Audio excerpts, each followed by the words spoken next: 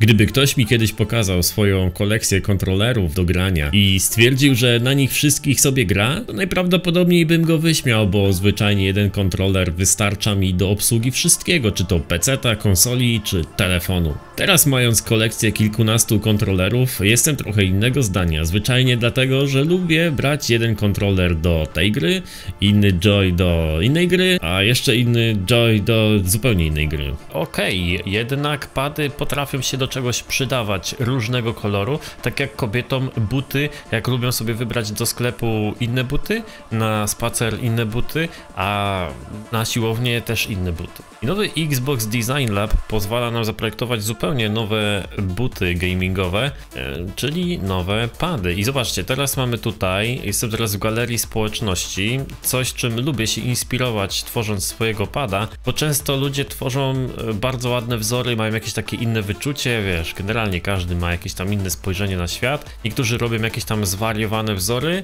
a inni robią właśnie takie stonowane. I wiesz co? Tak robiąc sobie tego pada, za każdym razem jak patrzę na te wszystkie obrazki, no to chcę sobie kupić jakiegoś nowego, bo mi się bardzo podoba. Na przykład tego bym wziął sobie dla kobity, tego bym kupił sobie do jakiejś e, zwariowanej gry, na przykład od Marvela, no nie? A e, tutaj był jeszcze jakiś taki padzik, który nazywał się Latte i był tam miał takie fajne stonowane kawowe kolory, ktoś sobie wybrał. Więc tak, jeden pad generalnie no starcza do wszystkiego, bo do wszystkiego możesz go podłączyć, do telefonu, do konsoli, do peceta, no nie?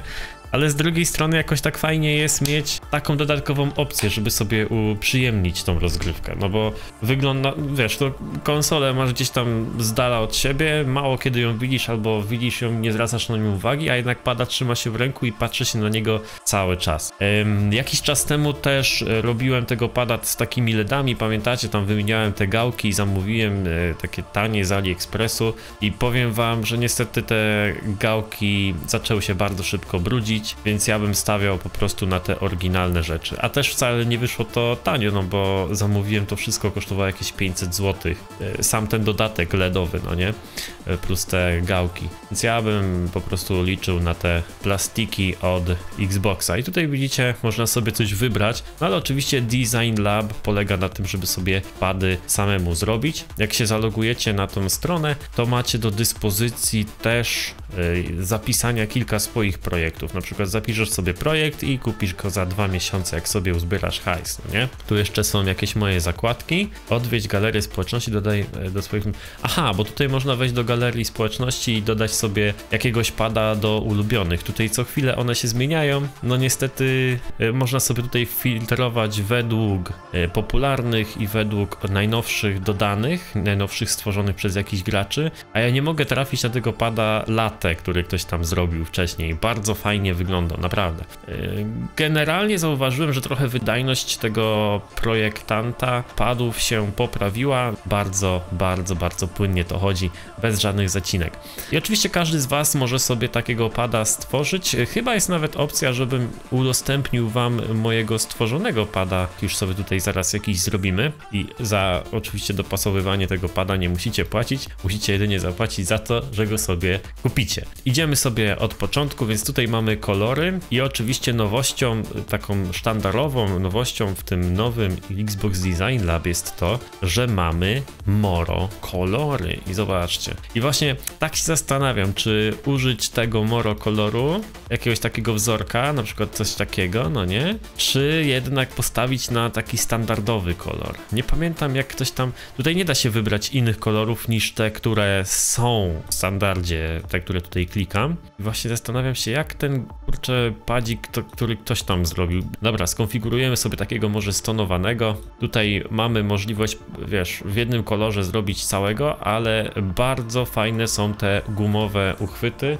Te gumowe uchwyty wyglądają sobie, yy, jeśli chodzi o pada w Design Lab, to te gumowe uchwyty wyglądają sobie tak. Są spoko, ale z powodu, z którego się nie spodziewacie. Przede wszystkim dlatego, że jak go się położy na jakiejś tam pochyłej powierzchni, to on ci nie zjedzie Jak pad, który tych gumowych rzeczy z tyłu nie ma, nie? Który jest tylko i wyłącznie plastikowy. On sobie normalnie zjedzie. Te, ten pad od Forza jest naprawdę genialny. Jak jeszcze go nie macie, a się zastanawiacie nad nim, to zdecydowanie polecam. Jest świetny, fajnie się go trzyma, przeźroczysty, zajebisty jest. A ten y, stworzyłem sobie ostatnio razem z wami, tak? I on to podgumowanie ma trochę, trochę inne. Y, wydaje mi się, że w tym padzie forzowym to obgumowanie jest przyjemniejsze, może trochę wyższej jakości. Takie mam wrażenie. Więc tutaj jak stworzymy sobie w tym Xbox Design Lab pada, jedna rzecz mnie tylko drażni, powiem wam, chodzi mi o te plecki, a konkretnie o ten element tutaj, że jak sobie wybierzemy na przykład jakieś moro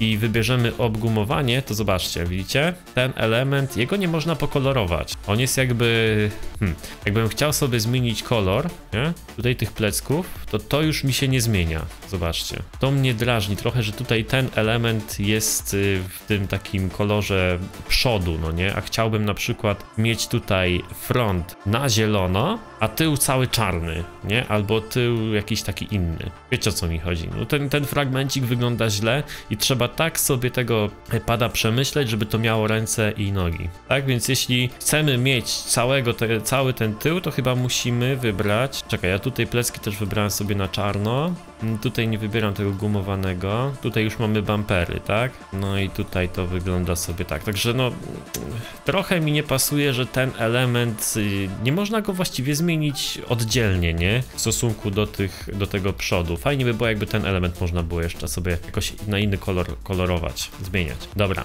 Tutaj jeśli chodzi o to tutaj widzieliście, tutaj mamy dopłatę 26 i 29 27 zł właściwie za każdą opcję. Nie, jakbyśmy chcieli sobie podgumować to czy to, możemy to zrobić oczywiście oddzielnie, jakbyśmy chcieli. I tutaj jeśli chodzi o triggery, z tymi triggerami to wygląda to sobie tak. Zobaczcie, one są takie e, bardziej błyszczące, ale ten kolor nie do końca się zgadza z tym kolorem, który mają bumpery, nie? Więc w przyszłym padzie, o tutaj mamy taki jednolity kolor. Że zobaczcie, tak wygląda sobie pad, który się tak, który ma te triggery błyszczące, nie? Więc tutaj czarny kolor bumpera i czarny kolor triggera doskonale się zgadza, a w przypadku tych błyszczących, no nie do końca.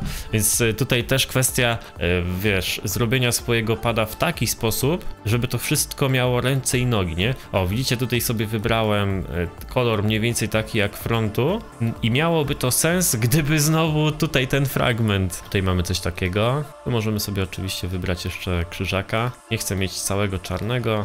Tam sobie, o właśnie, może wybierzemy sobie kolorze jak z tyłu. Uuu, hu, hu, hu, hu, to wygląda fajnie, zobacz. Udało mi się stworzyć swój własny projekt. Udostępniam go wam w komentarzu. Macie link do tego pada, możecie sobie go sprawdzić i może zmodyfikować. Jak patrzę na tego pada, to od razu myślę, w jaką chillową grę bym sobie zagrał. Albo taką, taką wiesz, żebym się gdzieś zaszyć, żeby nikt mnie nie słyszał, kubeczek herbaty i sobie gram na takim padzie. Tak się czuję. Dziwne to jest, nie? No to jest taka właśnie para butów dla gamera, wydaje mi się. Ty, ja nie zwróciłem na to uwagi, że w tym moim padzie takim klubowym ten przycisk Xboxa w środku też jest niebieski. Okej, ciekawe. Dobrze, no i tak by sobie on wyglądał. Tutaj mamy takie bardzo fajne, takie wyrenderowane od razu bardzo wysokiej jakości przybliżenia. Ekstra to wygląda. Mega, mega fajnie. No dobra, i mój pad wyszedł za 353 zł. To nie jest najdroższa konfiguracja, jaką można by było złożyć, ale po prostu to jest kontroler, który najbardziej mi się podoba. No nic, pozostało mi teraz tylko czekać na zamówienie. Ja Wam bardzo dziękuję, że byliście na tym odcinku. Cześć.